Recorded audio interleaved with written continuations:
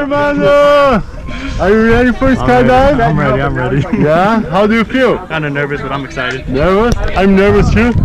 yeah. it's your first time, right? First time, first Why you decide to jump today? It's my birthday today. Nice! Happy birthday!